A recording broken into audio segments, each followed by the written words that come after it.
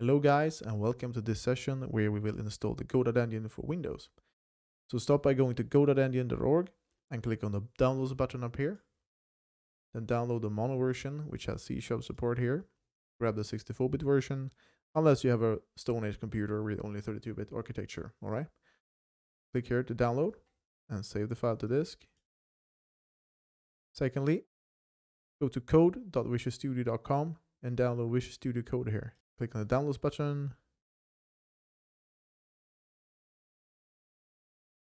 And save the file to disk. Stop by installing Visual Studio Code here. You can either open up your file explorer or go from the download menu in your web browser. Once the installer starts, click on I accept the agreement. Click on next, go with the default settings, click on next and then install here.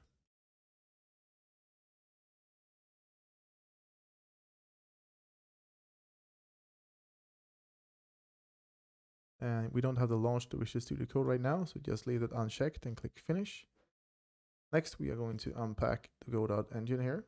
So you can click on the zip file directly. And we're taking into the zip file. You can right click and select copy here. I'm gonna go to my C drive here, create a new folder for this. I call this Godot here. Right click and paste. This will unpack the files here to this folder.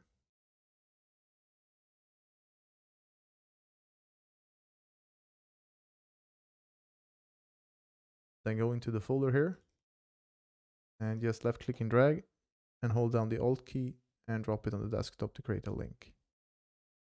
I'm going to rename mine to Godot mono here. Okay, then start up the Godot engine here. When it opens up, we're just going to press on cancel because we're not going to grab any projects in the asset library. I'm going to click on new project. I'm going to call this just one, two, three here and click on create folder and click on create and edit.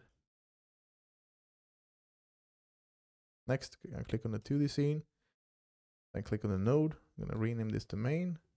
Click on scene, save scene, create a new folder, type in scenes, and click on save here.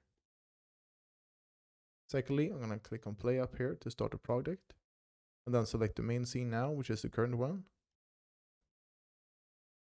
the project will start and I can close it down. Next, click on editor, then editor settings up here.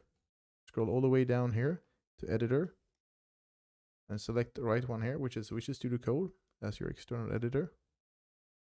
Next, click on builds here and make sure that this is set to .NET CLI down here. Okay. This is very important. Otherwise, it's going to spit out a lot of errors for you. And click on close Next, right click on main here and click attach script. Change from GD script to C sharp script here. Leave it as main.cs and click on create here. This will open up Visual Studio Code for us. And yes, I would trust the folder because I'm the author.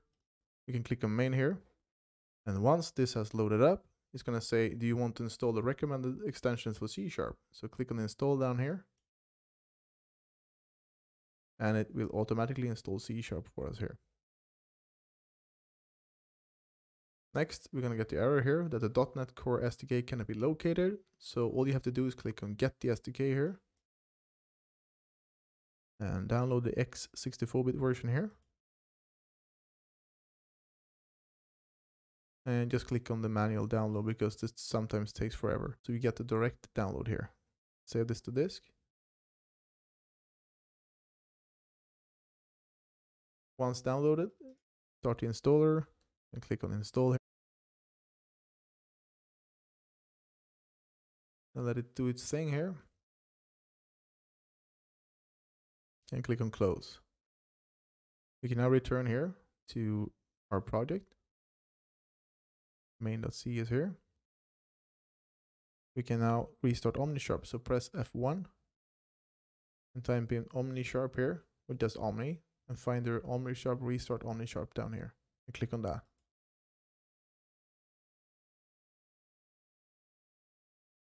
And the project is now good to go. So if you now type in GD dot print here, we'll have the IntelliSense and everything working. So just type in hello here, exclamation mark, and save the file. So we can now find our Godot here, C sharp. I type that in as an extension here, we'll find the C sharp tools for Godot. click install there.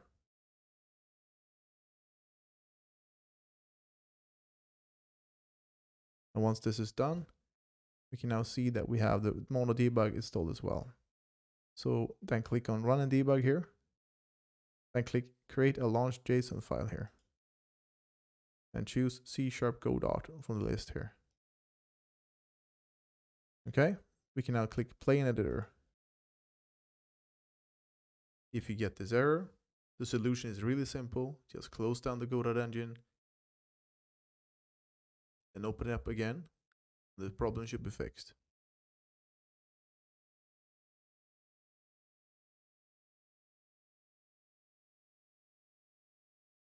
And things is working fine.